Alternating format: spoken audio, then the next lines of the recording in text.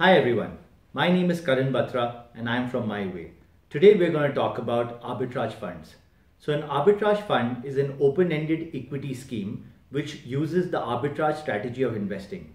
Arbitrage is nothing but the price difference between the cash and the futures market. Let's understand this better with an example. So if you have a stock, let's say A, which is trading in NSE for 100 rupees, and at the same time it is trading in BSE for 99 rupees.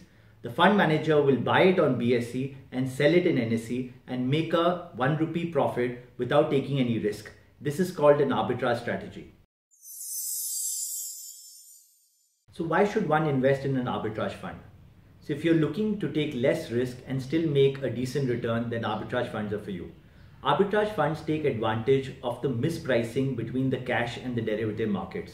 They simultaneously buy in one place and sell in the second place, thus making sure that the risk is very, very minimal.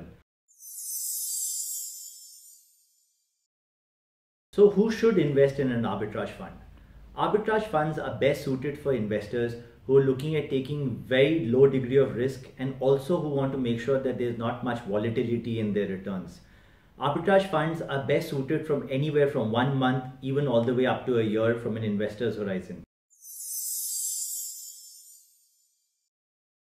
So now that we know that arbitrage funds are a low risk and low volatility investment option, so how do you go about investing in it?